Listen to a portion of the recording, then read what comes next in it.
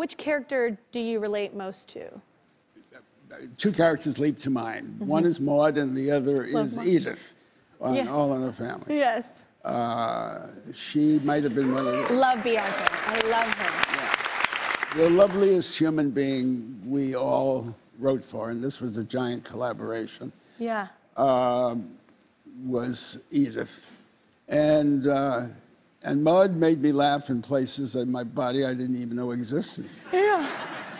I love that. I love. I would have never guessed that. And it's two women. That's amazing. The characters you related to weren't even men. So you just like to write better characters for women. I like you already. I, I find I like women. yeah, you kind of like them.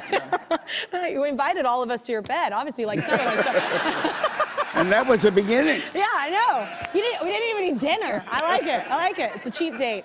I will not stop talking until you subscribe to my YouTube channel. That's right, and I can talk a lot. Seriously, not gonna stop. Yep, still here, not going anywhere. I see you. Don't walk away from this.